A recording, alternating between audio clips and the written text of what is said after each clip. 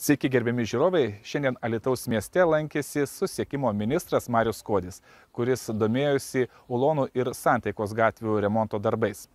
Ministras taip pat apsilankė ir prieplaukoje, kur tikimasi jo greitų laikų Nemune prasidės valymo darbai, kas atvers galimybę plaukioti pramoginiams laivams. Taip pat ministras apsilankė ir prie Baltosios rožės tilto.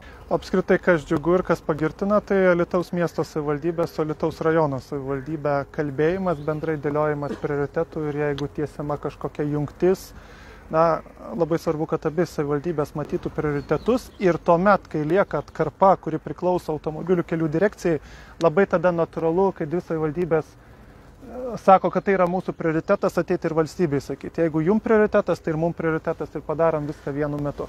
Tai kartais, kartais to bendravimo apskritai kalbant Lietuvoje apie visas savivaldybės, kartais, kartais pritrūksta, tai čia mes turim tas, tuos geruosius pavyzdžius, kurie iš tiesų yra sektiniai.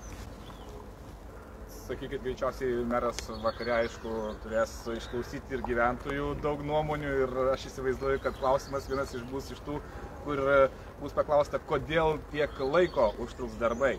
Uh, kodėl jie tiek užtrunka, nes visi nori greitai ir aišku nori, kad būtų pirmiausia prie jų namų sutvarkyta.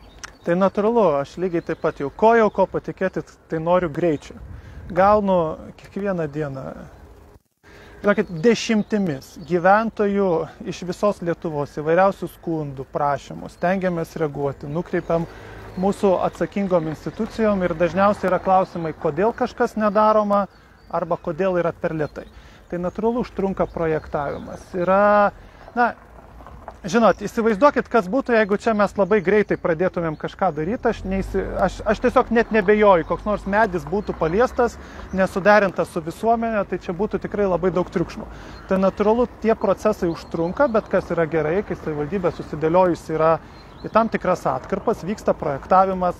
Kol čia vyksta darbai, na, jau projektas yra ruošiamas, ruošiamas toliau, ką daryti, jisai derinamas su visuomenė ir tokiu būdu, na, tiesiog tą konsensusą ir geresnį rezultatą galime pasiekti. Dėl to ir užtrunka, bet sakau, iš savivaldybės, ką matau, noras padaryti greitai ir galbūt čia net greitis yra daug didesnis negu finansavimo galimybės kartais bendros leidžia. Galim labai pasidžiaugti, kad iš tikrųjų praeitais metais ministrui parodė tam tikrus prioritetus, parodė gatves ir informavo, kad tikrai savivaldybė savo lėšom negali skirti keliolikos milijonų šios gatvės sutvarkymui. Šiandieną gauname ministerijos pritarimą ir finansavimą šitai gatviai. Šita gatvė įtraukiama į valstybės svarbių objektų sąrašą. Ką tai reiškia? Kad reiškia, kad šita gatvė bus pabaigta su valstybiniu finansavimu. Šios gatvės vertė buvo 2019 metais apie 12,5 milijono, apie 13. Tai šiandieną, aišku, tai darbai brangsta, tai valstybė sakė, kad ateina mes su, su pagalba ir šie, po kiekvienais metais duosime įskirtinį finansavimą šitai gatviai. Ką tai reiškia lytiškiams?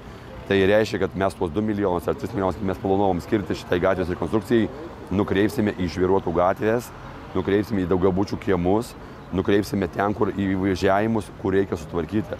Mūsų pinigai lieka alitiškių pinigai Alituje, mūsų gatvėse, o šita gatvė darosi iš valstybinių pinigų.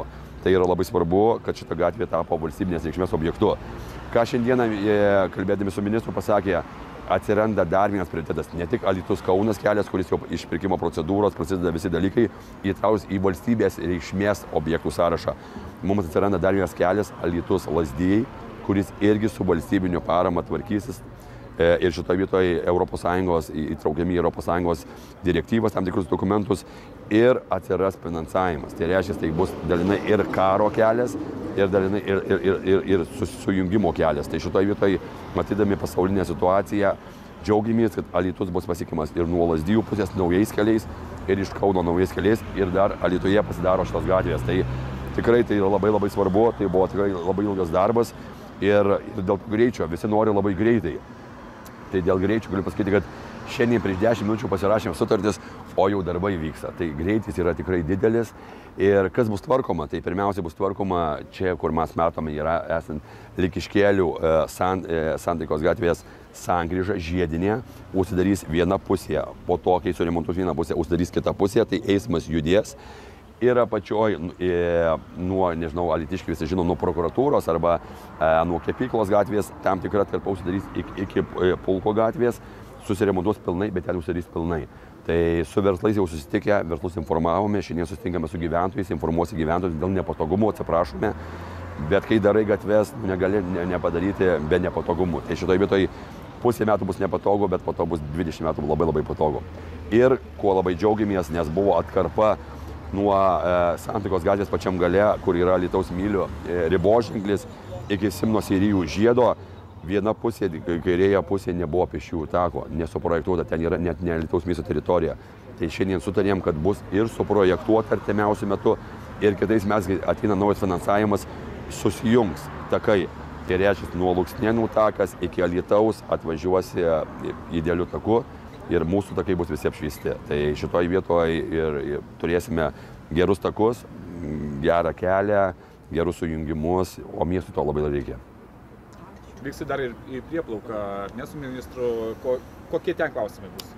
Vėlgi galiu pasakyti, išduot paslaptį, kad yra labai nedidelė. Uh, turim gerų naujienų, ministerija pati nusipirko žemsirbę, ir žemsirbė jau įleista ir žemsirbė po truputį juda link Lietuvos. Ką tai reiškia, kad kitais metais, šių metų pabaigoje, kaip žada ministerija, kad bus išvalytas visas takas, e, ką tai reiškia, kad galėsim pradėti ir mototransportą, vandens transportą, plaukyti, bus sužymėta Nemuno vaga, kur galės plaukoti pramoginiai laiveliai, kur galės plaukoti turistiniai laiveliai, kur galės žvėjai su kateriais plaukoti ir panašiai. Tai šitoje vietoje įsivalysim Nemuno vagą ir po to kilsime link druskininkų ir norim padaryti druskininkai, Alytus, Biršunas, tam tikrą, arba Kaunas po to, tam tikrą atkarpą pramoginę, kad čia galėtų plaukti turistai, užsukti į miestą, papietauti ir panašiai.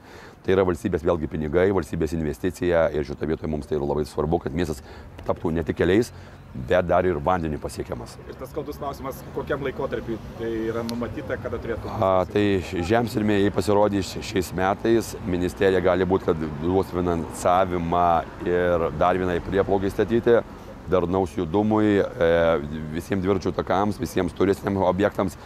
Bet čia neskubėkim taip greitai, noriu pamatyti žemsirbę, tada jau kalbėti apie kitus dalykus.